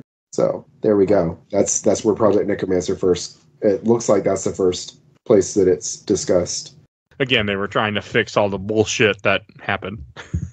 Yeah, I also thought I thought all the voice work was really good. I mean, as as a mm-hmm. show, I felt this season wrapped up everything it needed to and put a very nice bow on. I really mm-hmm. feel that way. I feel mm-hmm. like I like I watched this as a whole thing, and I feel like I could go to anyone and go, "Hey, watch these three seasons of Bad Batch, especially if you love Clone Wars and you love Rebels, and you get a nice, especially Clone Wars, and you get a nice wrap up to Clone Wars." Yeah, Yeah. especially where Clone Wars just did sort of end. Yeah, D. Bradley Baker is such a blessing for this show because even when he's sometimes doing voices that are almost borderline the same, they always have little ticks in them that give them personality. Like he's incredible to listen to. I, I spent a long time at work kind of going through some of these episodes to just get plot points and stuff in my head. They didn't stick like like everything else, but like hearing him talk and the the the specificity he can give each character with his voice is really impressive. Like it, it's a godsend for this show. hundred percent. Is he he plays all the clones, right? Yeah, yeah, he's Yeah. all the yeah, he's the whole Bad Batch. Yeah. Okay. Oh, according to Star according to StarWars.com, Omega is in prison for 185 days Which in this season. In this season, the first time. Okay. 100. and- Oh, well, you probably could count the uh, ticks on the wall because you could tell they yeah. were. So the 20. So there's throughout the 21. Yeah, there's 21 tally marks, and then she's in prison for another 164 days before she um, escapes. That's cool. That's according to StarWars.com, like a trivia game they had on their website. okay. Oh, cool. We got our answer. So that's that's how long So just this season is. Man. Just like part of the season. That's so yeah, just that's like a good what three months? yeah. No, That's that. just- and that's no, not no, the whole more than that. That's season not right. I'm counting. I'm counting 60 days in a yeah, month. 30, that's 60, right? 90, 124 So it's months. like six months. Yeah. So it's like half a year, Yeah. and that's not even the whole season. So Yeah. interesting. I like that. What do you think the food tastes like in that in that place? Like my word, there must be Not no good. flavor. Yeah. They don't give a shit. Yeah. I mean, you're mo- most of the people in that place are not there by choice. Well, you're not allowed to have personal items. Uh, I she thought made that's a doll out cool. of straw, and no, you can't keep. it. I thought that's cool how they do that because that one it fits fascism I think pretty well. Yeah. Also maybe fits communism, but hey, but I like that it's there. I like how Emery saves the stuffed animal for her that she had built or made out of hay and stuff. The Yeah. Kooky Kooky doll Kuka doll. I think it's Oh, called that was called. something yeah, like there's a that. name on it. Yeah, Yeah. it's the same one that she had on the uh, shuttle. She had an Yeah. actual one. She remade it. Oh yeah, made a new because version of you it. when she goes back to the shuttle at one point, you see her snuggling it. Yeah. Right. I like I also that. got to act- say this this season made me actually like Crosshair for the first time. I know that was I- on purpose. I've always liked his character a lot. I think he's interesting. He was. I didn't like how I didn't like him being for the Empire. I mean, it made sense and it made good story, but I didn't like it. Yeah, he turned very quickly towards the Empire against his brothers, but I think this one really showed how much he was actually conflicted. He just didn't show it as much because I think you saw a little bit of it in the second season, some confliction there. Yeah. First Oh, season um, you didn't. By the way, the the doll she had that was Wrecker. It was Wrecker's doll. That was Wrecker's doll. Yeah, in the That's first right. season, he had a Tooka. He had a Tooka doll called Lula, Yeah, that's and he like gave it to Omega. I don't Sure, 'cause remember any of this. because they're the same age. Yes. point. Okay. So remember, they built because at first they don't want Omega with them, and then um, that way they show that they accept her in the first season. Is Wrecker builds her a little room on the ship, and he puts his doll on her pillow. Oh, Yeah, I do remember that. Yeah, that's where that's from. it, but yeah, and then yeah, and it's it's a little like purple stuffed animal, and it's it first appeared in Clone Wars. It was a little girl, a little Twi'lek girl on Ryloth had one. so it's Okay. basically the Star Wars equivalent of a teddy bear. Yeah, exactly. It's a little. It's it, in fact, if you look at it, it appears to be like a teddy bear version of a Twi'lek. It's got Yeah, it sort of does because it's got the ears, or Yeah, not it's ears, cute. but the head tails. ten- head tentacles. I love how childish Wrecker can Oh, be it's an as a actual animal. Really? Oh, Tooka's an animal. It's like a little like cartoon animal thing. But no, you are right, Rob. They're like they're cats basically. They're big. They're like they're like cats. I'm trying to see what they first appeared in. I guess see what these cats look like. It looks very similar to a loth cat. Oh, a loth cat is a type of Tooka. Okay. Freaking loth cat. I missed that. I was at a Star Wars trivia at a bar for May 4th, and my team got second place. We were two points out of first place, and one of the questions we missed was I could not identify a loth cat by picture. I was like, that's the freaking cat from Ahsoka, but I don't know what it's called. Someone not Yes. watching enough Rebels. Hmm. It's a loth cat. Yeah, and a Tooka is a, a loth cat is a type of Tooka. I want Lothcat. Lothcat are a specific breed of Tooka from the planet Lothal. I do too. I have a cat looking at me at the moment. Oh, those cats. Okay, wanna I do know that. Yeah. So that's what it, her doll is. It's That a little doll's supposed to be that. I, Yeah. I, Okay. I like how she gives the doll to one of the kids kid. that got kidnapped from his mother. That's that scene is dark too. Yeah, because it's kind of Yeah. showing like she's got to grow up. She's like, I've got to be the grown up here because these little kids need someone to take care of them. Didn't because her his that little kid's mom got killed too, didn't they? When they took it.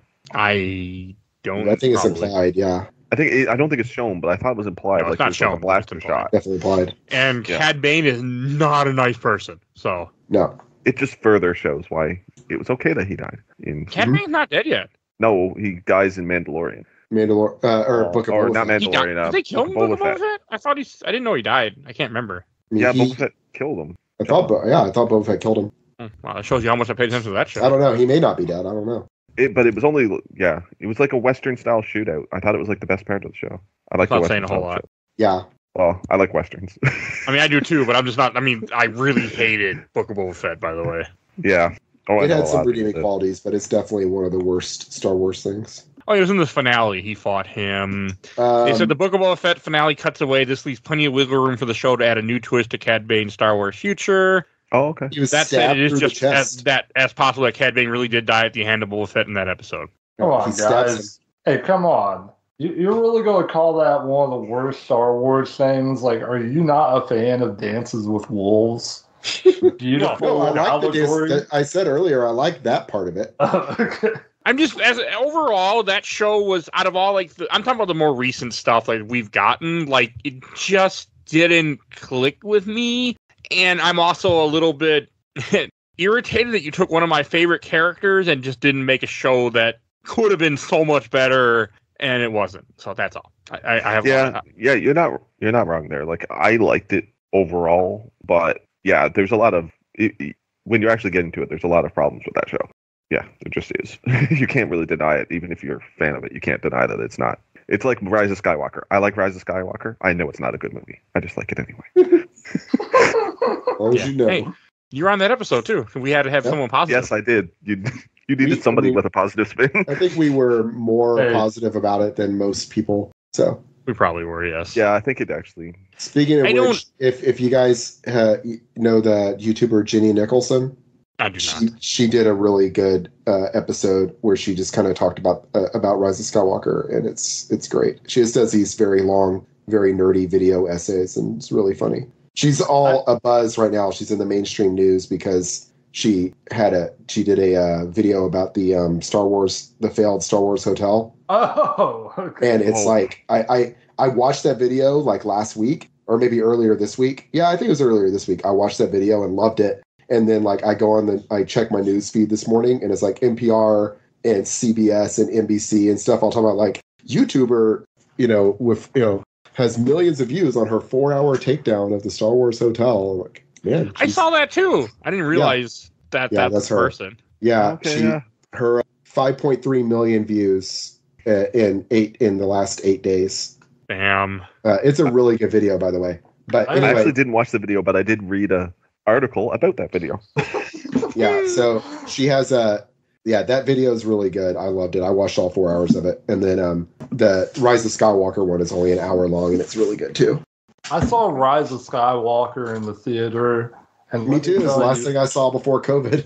Oh my god, Yeah, me let me too. tell you, that thing was the most sparsely attended Star Wars screening I've ever been to. People were not excited for that thing. Some guy actually threw popcorn at the screen at one point. He was so angry.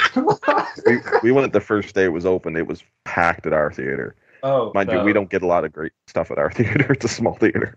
Well, you're you're on an island, so Yeah, and I live in a place that's only like twenty thousand people on the peninsula I live in, and it's the only theater. okay, that Oh. doesn't. Man. I still find it interesting how I met two different people I podcast with, both that live in that island.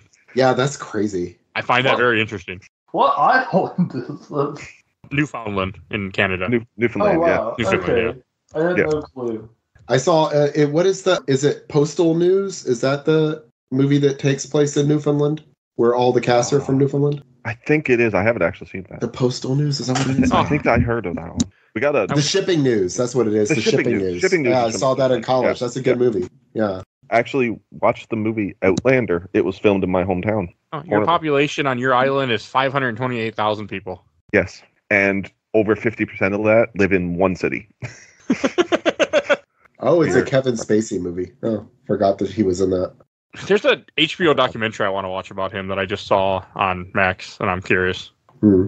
So, yeah, I forgot about him. I'm actually about to play, depending on, well, it's probably already out at the time you hear this, but Call of Duty Advanced Warfare. So, I will be talking Kevin about that. Spacey, Julianne Moore, Cate Blanchett, Judi Dench, Pete Postlethwaite. Man, that's a stacked cast. I don't remember it at all. I just remember watching it in college. Does he still get hired for anything now after the assault? I don't think so. I don't think so. I don't think I've heard of anything. Man, I Yes, he's made one movie this year. He had two movies last year. Oh, never mind. Wow. I, I'm He's- surprised people are still hiring. It was. I mean, it's not stuff that anybody that you ever heard of, but yeah, He's getting work. yeah. He, But I guess some people will take anybody for it. Oh no, I'm sorry. He was in. He was a. He was a voice in a movie called Control. Oh, that's Not interesting. No, not the game. it's a movie called Control. It's a like a horror movie where like a man uh, remotely hijacks a woman's self-driving car, Okay. and and he's the voice of the he's the bad guy that's hijacked the car. He was in that last year, and then he was in a TV special, and then he's in something called Peter Five Eight this year, which looks like Re- Rebecca De Mornay is in it. Looks like a thriller. Aw, that poor that poor woman. Like wh- what? Man, that's sad. But he's playing a villain again. He's a villain in this one too. Yeah. What? No. Yeah, so I guess that's what he's doing. He's like, well, now that I've been me too, I'm just gonna play villains, and people will eat it up. I mean, No, he was, he was. I mean, he was his last big thing. He was a villain also. So, but House of Cards. yeah, Oh, he was a villain in that. I never watched House of Cards. I mean, I mean, yeah, Yeah, it's but- it's it's it's uh yes. yeah. He's been like playing both he's the main character, but he's he's definitely a villainous character. Yes. He's also a Republican senator of Georgia. You, so- um, you know he's villainous by his big long mustache that he's constantly twirling and muttering. like and when he muttering under literally breaks the fourth wall and looks into the screen to talk about what he's doing. Yeah, I did like that show at one time. I never finished it, but I remember I did like House of Cards. Yeah, I love the arc where he tied that woman to a train track. That was awesome. Or anything else about Bad Batch that we should mention Yeah, about let's the show in general? Let's just say wanna say? I don't I don't have much more to say about it other than that people should watch it, give it a chance. Feel free to skip silly episodes in the first two seasons. And even in this season, there's a couple of, you know, somewhat skippable episodes. You'd be fine. You But probably skipped the one with the tentacles. You know, that was dumb, but I also like the fact that it shows that the Empire is doing random shit and is abandoning it and then killing Yeah. everybody involved. which actually which one like- is that? That's the one where he meets the three kids. They meet the three kids on the jungle planet. Yeah. Right, right. It's very throwaway, but it does was make sense. because they were just made these vines and they're like, oh, these vines are we can't control them. We're just going to abandon this planet to the vines and just move on. Yeah, Uh, that was very that's an Empire thing.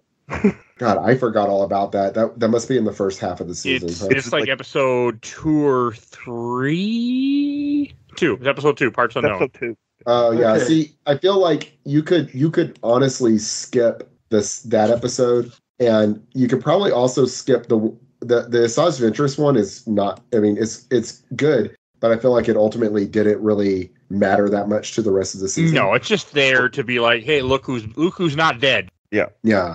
It, That it and felt- to show it- that it- oh well we're not we're going to tease that we're going to make her a Jedi. Nope, we're not going to do that, and we're back Yeah. where we started. Yeah, and- and defense I, I felt like it was. I mean, it was fine. I didn't have a problem with it. Oh, But no, it I felt like it was. But it is Yeah. it is throwaway. Like you don't need It felt extraneous to the season, like what we were doing this season. I felt like really that one and the one with Fennec Shand. I, what I really wanted was I wanted just the what was going on at the Tantiss base. That was really what I was super interested Yeah. in. Well, that's fair. Actually, the Fennec Shand one, I did find that funny. They fought alligators and a, ma- a praying mantis person. That's what it reminded me of. Oh, Rob, what were you trying to say, or what were you going to say? I just wanted to say, like, in defense of the filler in this show, I still think it's entertaining enough that oh yeah. if you that like if you want to go through it, it really won't be that much of a trying effort. Like it never grows so childish that I want to turn it off or something like that. I, I think it's in- inherently watchable, no matter if it's Mhm. filler or not. Oh, totally. Yeah, it was. Uh, I would say that like there was a lot of this show, a lot of this series that I played, I watched while like playing a game on a second screen. But this season in particular, I mostly sat and watched, like just sat and watched it. like the the one It with was the two, engaging. the one with the two abandoned kids, I think has plenty of like fun action going on in it. And I like the implications that they're just kind of trapped on this like world with terrible vines that could kill them at any second. It has a lot of Yeah. dramatic stake inherent in the buildup of it. Yeah. I mean, also, if it wasn't for the Bad Batch, I mean, maybe Palpatine actually would have returned sooner. So yeah, you know, you're right. I mean, or they did or maybe it. he even had multiple of himself. Because I just, I was reading this when I was going through. I didn't realize that Rey's father was actually one of these failed clones. It was a clone that came out fine, but without force powers. So if they could give Oh. him force powers. Oh, I didn't know that either. Yeah, apparently it's in the novel. It Oh. explains that he was actually one of these failed clones. Okay, that's Who? cool. Rey's father, the one that Oh. was escaping Palpatine. Oh, well, Apparently that they makes find sense. out 'cause she's a she's the reason using- he ran away Right, is 'cause that she's supposed to be Palpatine a treated kid. him so bad for being a failure because he couldn't use the Force. Right. That that makes sense because she's supposed to be Palpatine's granddaughter. So It explains how she's the granddaughter because he didn't have kids; he just had clones. Clones. yeah, Yeah. because no one wants to think about Palpatine fucking. So Well, especially after he's scarred. Before that, he was a fairly handsome he, fellow. he impregnated Shmi Skywalker with the Force. Maybe. Maybe him and his master, Yeah. if that's still canon. It, it was left up to the imagination. I loved that novel, the Darth Plagueis novel. I know it's not canon anymore, but I really like that novel. I hope we get more with Plagueis to like explain like something that they make canon to explain. Make something about him. canon now. Yeah. It'll turn out he was a reverse clone. He's a reverse clone of Palpatine. What's that mean? Like a clone made in the past Oh. of a person from the future. Oh, okay. Yeah. Let's not go there. That sounds terrible and stupid, but I could see. That. man, they they haven't done st- time travel in Star Wars yet. They know that. They do that in Yeah. Star Trek. I mean, they've done. I mean, yeah, they haven't done time travel yet. The the uh, the traveling the the like the subspace like hyperspace traveling thing with the whales and stuff from Rebels is definitely Yeah. going in that direction. You could definitely take that just a slight detour, take a, a slight left and do time travel instead. So with No, that mechanic, Hit hitch a ride with a whale. Yep, time whales, There you go. time whales. Everybody Oh, man. else has done. They should get uh they should totally get Terry Gilliam to direct that if they are gonna go do time Time whales. whales. I don't want time whale. Uh, and I, I am excited to see what comes next with the animation with this. Like, I am excited to see what the next thing they do is. Like, they, there is the Tales of Jedi and then Tales of Empire, which is essentially season two of Tales of Jedi, which we're going to at some point do together as one show, but I have no idea when I'm going to make that happen. But that's my plan. But I can't. I have no idea when I want to watch because Well, I've watched both. Did you do Legends season two? You did season two, didn't? Legend, Not Legends. Uh, what's it Visions. I only did Visions season one. Yeah, we just did one, season but- one. called? 'Cause I think I did season one with you. Yeah, I I was on did. that I- episode I- too. Yeah, I watched season two. That was really good. I have never. I I haven't kind seen of season forgot two it. either. Well, I think about it because I, cer- anytime I plan certain things, I put a poster in my phone. I go, oh yeah, I need to do this. I did that back in July 2023. So yeah, it's been almost a year. Yeah. I think uh, season two of Visions was was markedly better because it wasn't telling almost the exact same story, like segment to season one segment. did, did a little bit of repeat. Yeah. Yeah, But I, That's I at some problem. point, it's on my list of things to get to. I'm just glad this is knocked off because this was also on my list of things to get to. So, Well, this is one whole thing now. These three seasons, and it's a good show.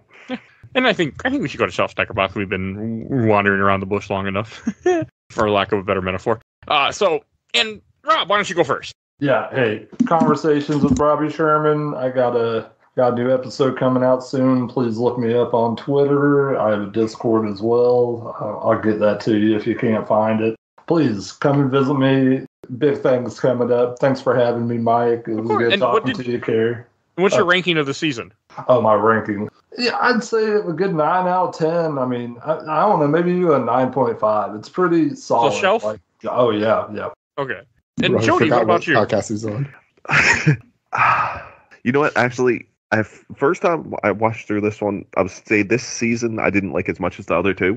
I had to rewatch it to really like it, and now it's shelf. Okay. But I think I missed too much the first time I watched it. I, I think that's the point. You gotta sit and actually watch this season because there's a lot of little things you'll miss if you're not paying close No, that's fair. Completely Yeah. fair. But if you do, it, no, it's shelf. It's really good. And Kerry. Oh, this is definitely uh, shelf. This was especially this season, but this series in general, I think it's it's one of the best Star Wars things, and it's definitely like this th- this third season was the best season. So yeah, absolutely. Okay. And I'll go last. I'm going to put this on the shelf too. I, I had fun. I enjoyed the season. I enjoyed the whole show. I was entertained enough that I watched it every day, every week. Is it pretty much, if not Wednesday, I watched it Thursday. It was pretty quick. And there were a couple times where I actually watched this before X Men '97 because I was excited to see this instead. So that's high praise. So yeah, so go on the shelf. And I'm I'm I'm glad that it existed. I'm glad that we watched it, and I'm glad that we covered it finally. So yeah. Nice. I just enjoyed the show in general. Like I was just impressed. But I'm also a big Clone Wars Rebels fan. So there's that too. And Kerry, where we'll find you at. Hey, I'm on uh, Twitch and YouTube as Kerooseta, K E R O O S E T A. I modify and repair video game consoles on there and just sometimes just turn on the share on my PS5 or whatever I happen to be playing.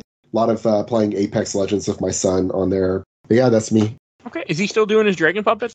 Oh yeah, yeah, he's like over 600 uh, subscribers. Uh, his uh, it's NatureP underscore dragon, N A T R O P Y underscore dragon. He does these dragon puppet videos, and then lately I, I showed him how to. I set up, helped him set up OBS on his computer, so now he's like streaming. Like he does like face or he's doing like YouTube live streams of him playing various games, Wobble Dogs and Apex Legends and things like that. So I, I'm glad. I'm glad he's still doing it. Yeah, I know at yeah. one point he was getting a little burned out, so I'm glad he's still doing it. Yeah, he's gotten back on it, but he's not doing it that.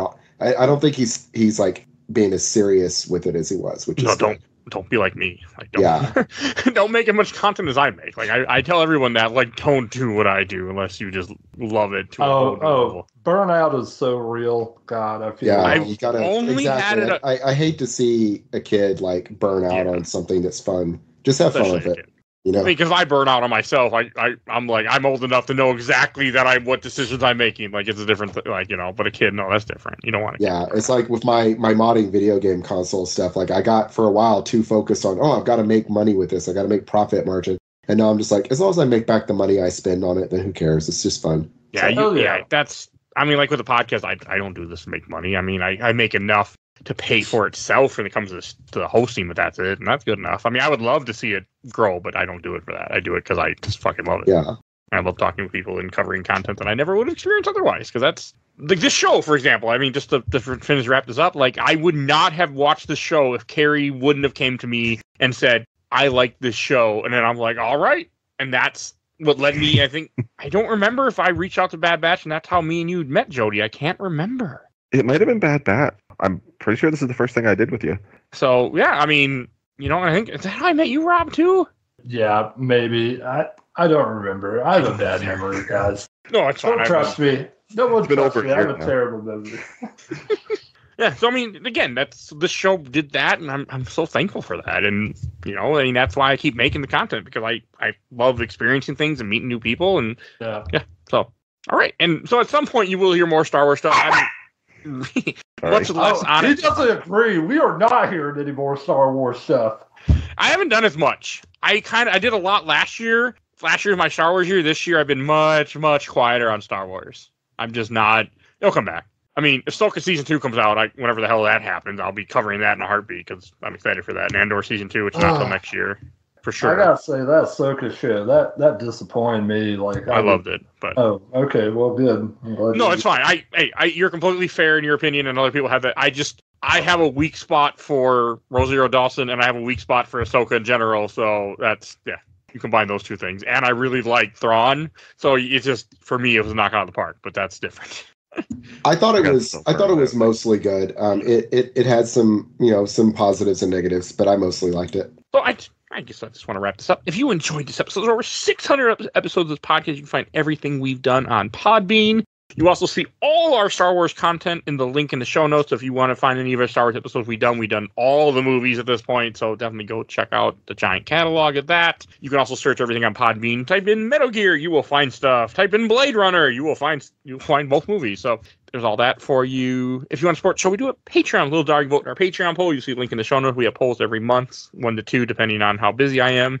We also have a Discord. Please join our Discord. Chat with us. We're always happy to have new people with us. You'll see a link in the show notes for that. And want to give a shout out to my awesome intro and outro courtesy of Helena at Hel Hath Fury. You can follow her on TikTok, Twitch, Instagram. You will see a link in the show notes to her channels. And give a shout out to a gamer looks at 40 with Bill Tucker. Definitely go support him. Great friend of mine. Check out No Mental Fantasy. Nerds Abroad podcast, one with Phoebe has started. You'll see, she's been on the show before, many many times. Started her podcast recently. Definitely go check her out too. Nerds Broadcast, I think something like that.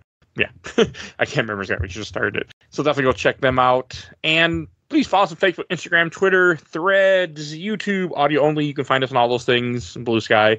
And rate and read us wherever you get your podcast. I think that's everything I need to say. So we will see you guys next time. Bye, everybody. See ya. Bye. Goodbye.